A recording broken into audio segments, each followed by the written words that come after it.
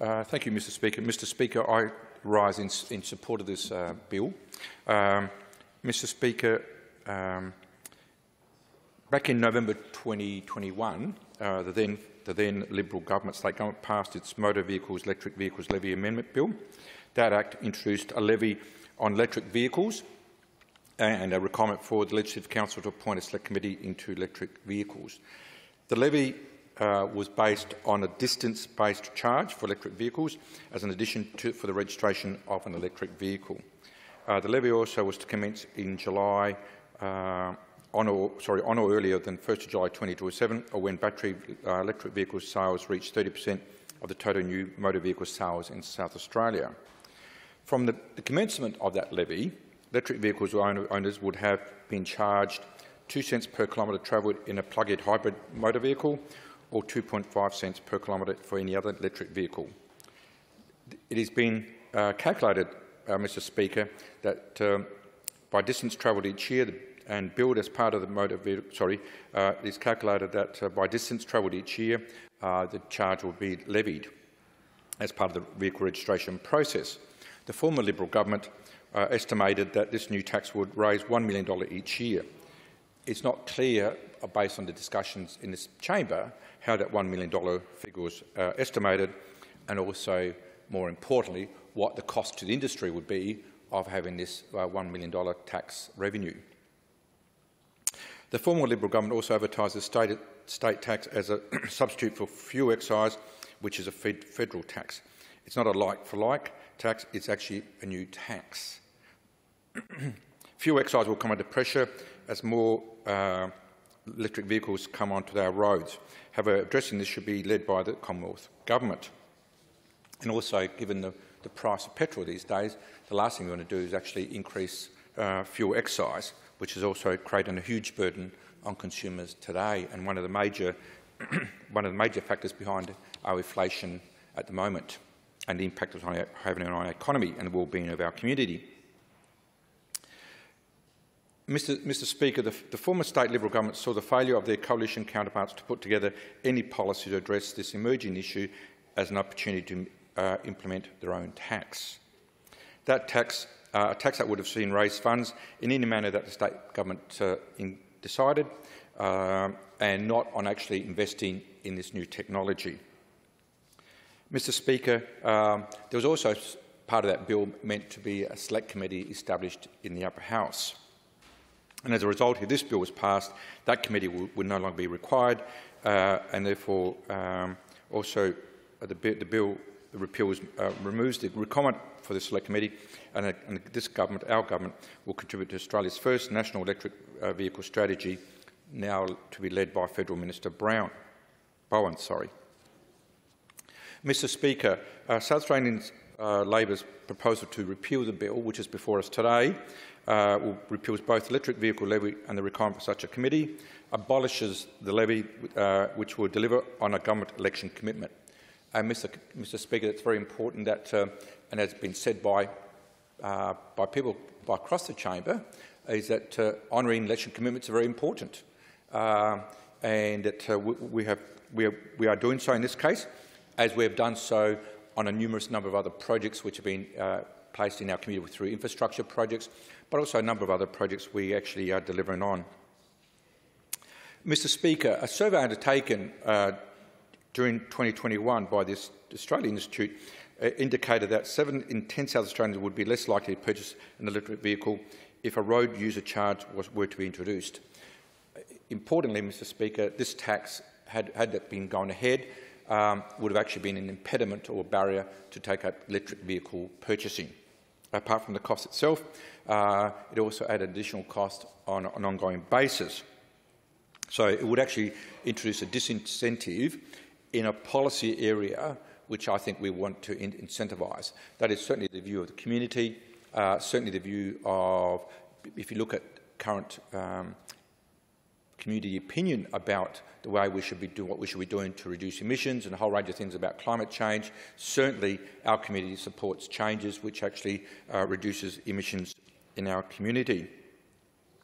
While the user charge was not designed to start uh, for some time, Passing this repeal bill is very important because it provides certainty for those to look into purchase an electric vehicle. And I wish to highlight that point, Mr Speaker, what's very important. The reason we've had um, some lag in this nation because of moving towards a more uh, less uh, fuel emissions and, and also supporting more uh, policies to support climate change is that we've had policies which are inconsistent at both the state and federal levels, which doesn't send the appropriate, consistent signals to the marketplace. As some speakers have already indicated, Mr Speaker, for people to, for business to invest in a particular industry or product, they need to know that the investment environment is, is going to be supportive of what they're investing in. By having this sort of policy where you chop and change, particularly at the federal level under the Morrison government, um, is that they were sending out mixed messages. Therefore, businesses weren't investing in renewables and other industries like they should have been, and actually, actually investing in the future. Uh, where, where other nations have been doing so, particularly the European countries, have been sending out very strong in, um, signals about where people should be investing in the future. Mr Speaker, uh, it, is, it is somewhat uh, of um, an admission. Um, it's also somewhat sad that for nine years of federal Liberal government policy in this area that we actually are now behind the eight ball in a whole range of climate change areas. And, Mr Speaker, this, what this bill does makes it very clear about we actually want to incentivise the electric vehicle industry. It sends a very clear message to businesses that it is okay to invest because businesses will get a return investment.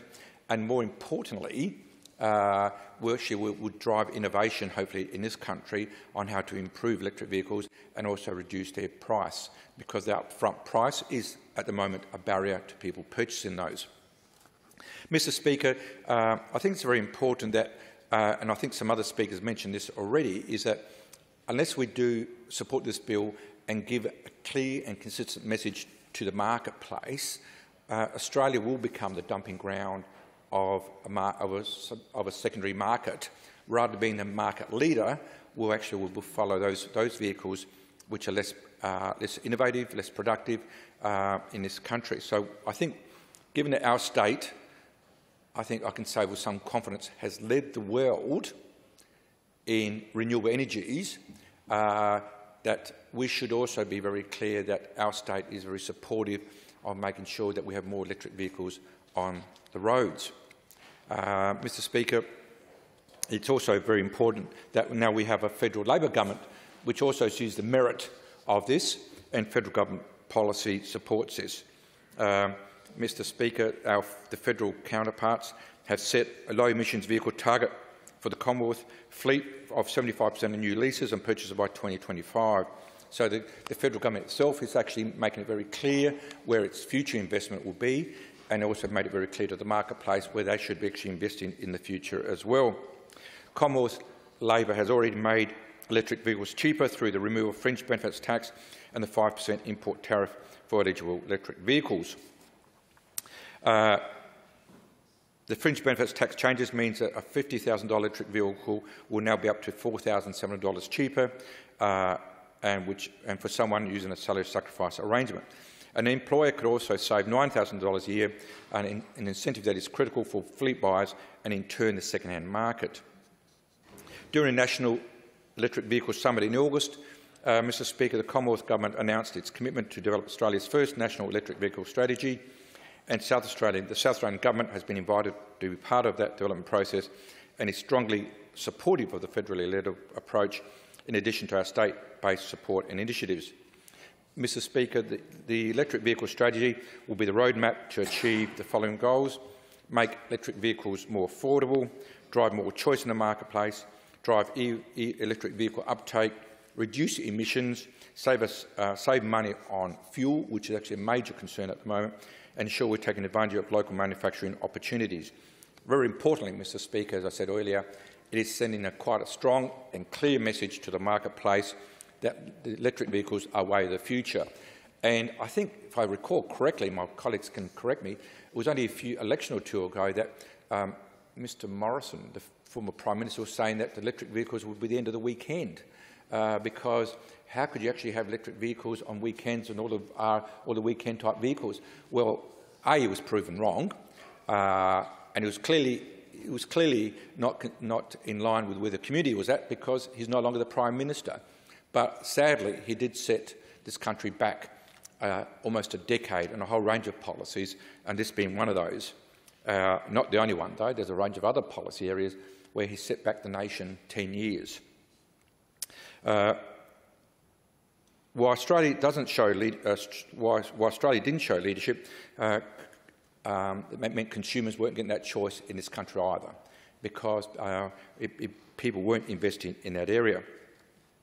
Some of the barriers, Mr Speaker, to um, the slow electric vehicle uptake, uh, there's sadly a smaller number of vehicles available in this country than other countries because of the inconsistent message given by both state and federal Liberal governments. High upfront purchase prices. I think as innovation drives improvements in those vehicles, as we've seen in other areas, price will fall. Uh, and also anxiety about electric vehicle range. I must confess, Mr Speaker, that's one of my concerns, is it to make sure that I'm fully charged where I am go.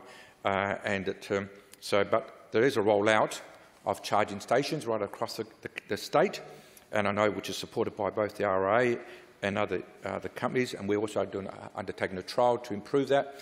But I think we still have some way to go in improving the community's um, acceptance that it will be safe to actually charge across the state. Having said that, Mr Speaker, any, you know, um, any policy like that um, would only be supported if we remove this tax because we are, again, sending quite a clear uh, message. Uh, Mr Speaker, that uh, uh on, on, the charges, number of councils actually have introduced uh, electric vehicle charging stations. I know my own council, the Gawler Council, um, have electric vehicle charging station in the town near the tourism office, and I'm aware that other councils are doing the same thing. I think um, electric vehicle charging stations are important from a tourism point of view. If you want people to come to your town, visit, then you actually provide the opportunity to be charged up.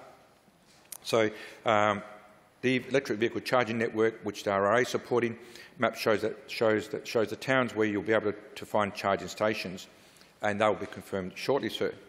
Uh, Mr Speaker, I think it's important that also uh, to note that um, a number of uh, companies which actually pri provide private car parking are just already starting to provide electric vehicle charging stations. It's their, their acknowledgement this is where the future is in vehicles, uh, and it, they're actually going to invest uh, as a result of that. Mr Speaker, uh, I think probably the saddest part of all this uh, proposal by the Liberal Party to introduce a tax and by the Federal Liberal Party to equivocate on climate change policies has been a setback our country um, almost a decade where we could be.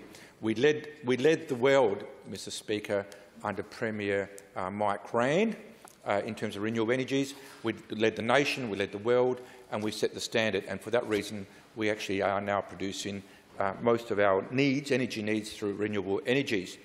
Sadly, this, this, policy by the previous Liberal government and by the previous federal Liberal governments um, have done damage to that. I think with the proper settings in this state and also at federal level that this country can actually lead not only emissions control but also in, provide innovation and also which hopefully will lead to manufacturing this type of vehicle in this country. If there's one thing we need back in this country is more manufacturing and this sort of decisive, clear message to industry will support that.